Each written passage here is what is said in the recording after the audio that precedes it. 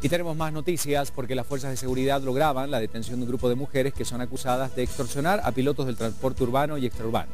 Según las autoridades, esta banda de mujeres tenían un modo de operar muy diferente a otro tipo de bandas y estiman que tenían más de cuatro años de cometer sus fechorías. ¿Qué hacían? Primero seducían con sus encantos físicos a los pilotos y a partir de allí entonces desataban su plan.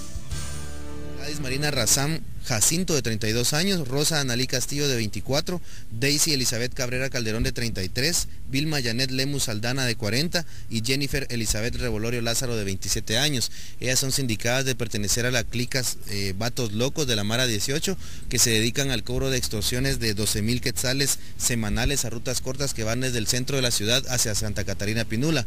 Esto desde hace cuatro años, desde el año 2008, eh, eh, según la denuncia puesta por los transportistas. Esto suma un total en los cuatro años de 2.304.000 eh, quetzales.